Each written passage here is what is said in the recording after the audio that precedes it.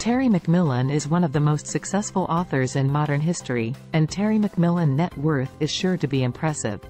The author has written many books that have become bestsellers, like Waiting to Exhale and How Stella Got Her Groove Back. Because of these successful books, she has earned a lot of money over the years. Let's take a look at Terry McMillan career and explore her journey to success with Penn Book Center. What is Terry McMillan net worth and salary in 2023? Terry McMillan has a net worth of $40 million as of 2023 according to The Richest.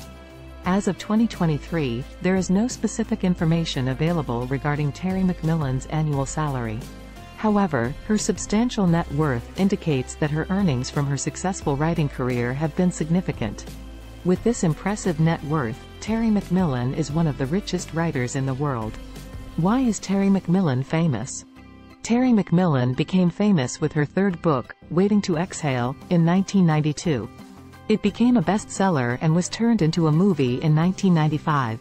Some of her other important works are How Stella Got Her Groove Back, A Day Late and a Dollar Short, The Interruption of Everything, and I Almost Forgot About You. She also edited the book Breaking Ice, an anthology of contemporary African American fiction. Terry McMillan Overview. Early life.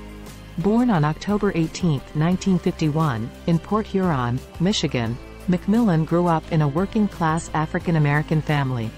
Her mother, Madeline Washington Tillman, and her father, Edward McMillan, raised her. They taught her to love telling stories when she was young.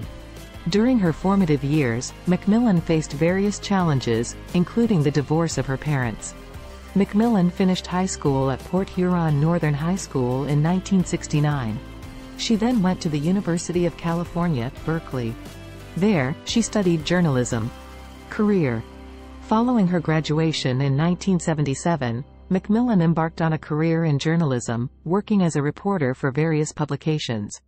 Despite her success in journalism, McMillan felt a burning desire to express herself creatively and explore her own narrative voice. In the early 1980s, McMillan made the pivotal decision to pursue a career as a fiction writer. Her debut novel, Mama, was published in 1987 and received critical acclaim for its authentic portrayal of motherhood and family dynamics. After getting more and more popular, McMillan released a book called Disappearing Acts in 1989. This made people see her as a really good writer who explores important ideas in her stories. However, it was her third novel, Waiting to Exhale, 1992, that catapulted McMillan to new heights. This captivating tale of four African-American women navigating love, career, and friendship struck a chord with readers worldwide. The book stayed on the bestseller list of the New York Times for many months. People really liked it and it even became a movie that did well. After Waiting to Exhale became popular, McMillan kept writing more books that people loved. Some of these books include How Stella Got Her Groove Back, 1996, and A Day Late and a Dollar Short, 2001. Her stories talked about important things that everyone can relate to, like love, finding yourself, and the challenges of relationships. Because of this, people from different cultures really liked her and she became a cherished author. In addition to her novels, McMillan ventured into other literary forms, including short stories and nonfiction. In 1990, she published a book called Breaking Ice, an anthology of contemporary African American fiction. This book had different stories from many African American writers. It showed how diverse and unique their voices are. In recognition of her literary contributions, McMillan has received numerous accolades, including the Essence Literary Award and the American Book Award. Her work continues to resonate with readers of all backgrounds, cementing her status as a trailblazing author. Personal life. In her personal life, McMillan was married to Jonathan Plummer from 1998 to 2005. Their relationship ended following the revelation that Plummer was gay. McMillan had a legal case against her ex-husband and his lawyer. They did things on purpose to shame and embarrass her. She won the case and got $40 million as compensation. She has a son named Solomon and currently resides in Northern California. FAQs about Terry McMillan. How has Terry McMillan's writing evolved over the years? Throughout her career, Terry McMillan's writing has evolved to tackle a wide range of subjects.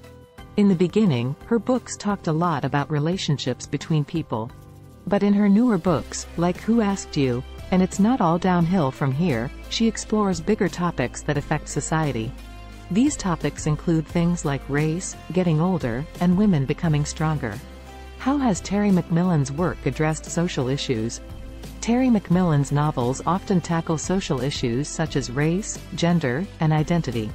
In her stories, she shows us what life is like for different characters.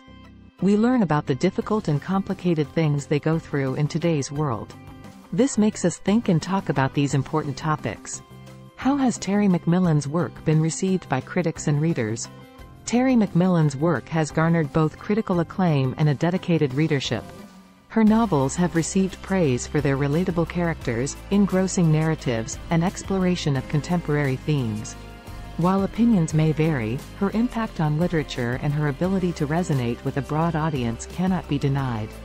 Conclusion in conclusion, Terry McMillan's remarkable career as a renowned author has not only garnered critical acclaim and a devoted readership but has also translated into significant financial success. Through her captivating storytelling and relatable characters, McMillan has amassed a substantial net worth, reaping the rewards of her literary achievements. Thank you for watching this video with Penn Book.